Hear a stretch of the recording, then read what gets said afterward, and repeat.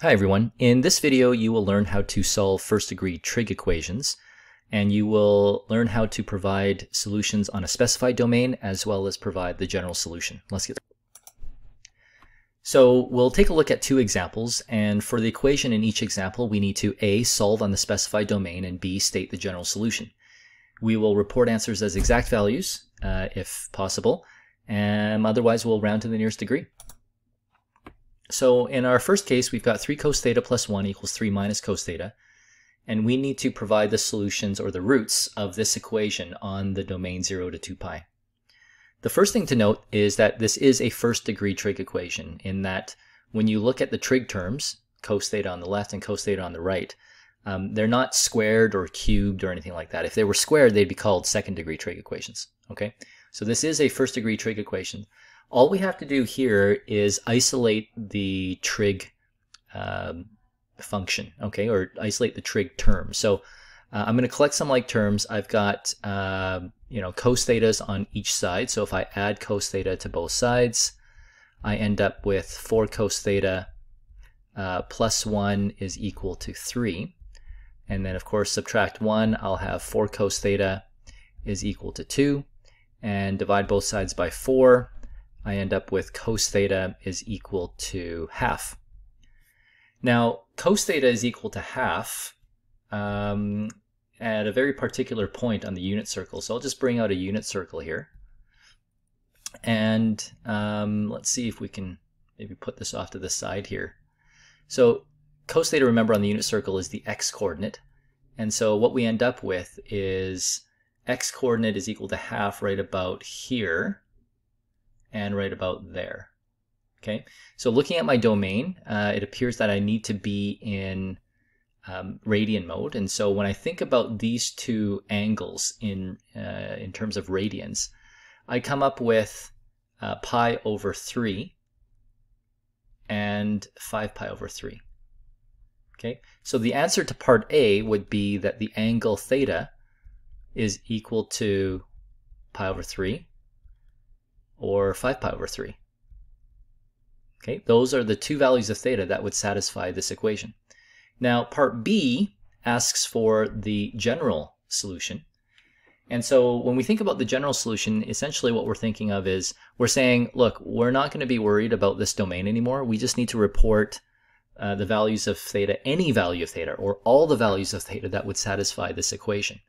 Okay, and we're not going to be confined to 0 to 2 pi. So what we can do is we can say, well, it's going to be pi over 3. It's going to be 5 pi over 3. Those are the first two. Plus, every time you rotate around the unit circle, right, you will come up against the coterminal angle that will also, when substituted into this equation, satisfy the equation.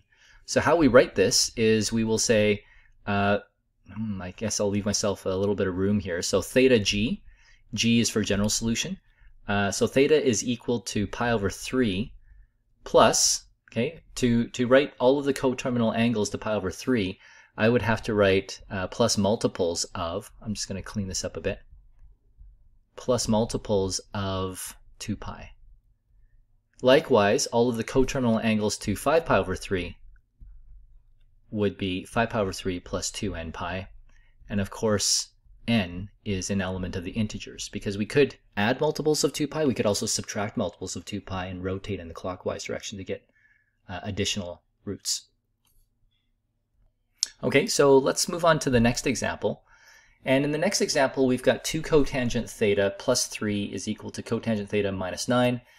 Um, first, we're going to solve this on the specified domain from negative 180 degrees to 360 degrees. And then we're going to um, Uh, come up with the general solution. So again, this is a first degree trig equation. And what we want to do as sort of our first order of business is to isolate the trig equation. And in this case, sorry, I isolate the trig function. So in this case, we're going to do something similar. So I'm going to subtract cotangent theta from both sides. And I'm also going to subtract 3 from both sides. And so I'll end up with 2 cotangent theta minus cotangent theta is just 1 cotangent theta. The 3's cancel. These cotangent thetas cancel, and I am left with negative 12 on the other side. Okay, so um, negative 12 is not going to be a familiar ratio to me on the unit circle. Is it on the unit circle? It is, but it's not one of the ones that I've memorized. So what I'm going to do is I'll reciprocate both sides okay, of uh, this equation, and I end up with tan theta is equal to negative 1 12th. Again, that's not familiar to me. So what I'm going to do is I will, first of all, determine by looking at the coordinate plane and making use of cast rule, I will determine where tan is negative. So I'm anticipating that um, tan is going to be negative in quadrants 2 and in quad and 4 actually. So I know that for tan the, the roots are diametrically opposed and I am anticipating a small reference angle because opposite over adjacent is approximately 1 over 12. Okay, so let's go to the calculator and see what the reference angle would be. Okay, so in this case, I will have uh, theta, mm, let's call it theta r for reference angle is equal to inverse tan of, you might remember this from a, a previous video, you take the inverse tan of the absolute value of the ratio, okay? Uh, the mode that we should be in is degree mode as indicated in the domain. So I'm going to make sure that I'm in degree mode. Yes, I am. Inverse tan now of 1 12th. And I get a reference angle of, hmm, we'll just say 5 degrees. Okay, 5 degrees approximately when all is said and done. So that's 5 degrees, that's 5 degrees, Okay, um, and so my actual angles are going to be theta is equal to 180 degrees minus 5 degrees. Okay, and I'll also have 360 degrees minus 5 degrees. Now I'm going to take a look at my domain here, which is a little bit unusual. Usually it goes from 0 to 360, and if it did start at 0, then these would be my two answers. But it allows me an additional half turn in the in the negative uh, direction. So if I go this way, then I end up with um, a negative five degree rotation angle. And if I continue, well, actually I'm limited at this point, negative 180. If I could go to negative 185, if this allowed me to go to negative 185, then I'd pick up another root. So there's only one other root that is included, which is negative 5 degrees. So my final answer on this domain, at least, would be 175 degrees, uh, 355 degrees, and negative 5 degrees. Okay, And we know full well that 355 degrees and negative 5 degrees are coterminal, but since they both fall within this domain, we include them both. Okay, and I probably should have said that this is really our solution for part A. Um, so there's, there's part A. Part B is asking for the general solution. Now, with the general solution, we can recognize that um, because this is a, well, turns out to be equivalent to a tan equation, that the roots are actually 180 degrees apart, okay?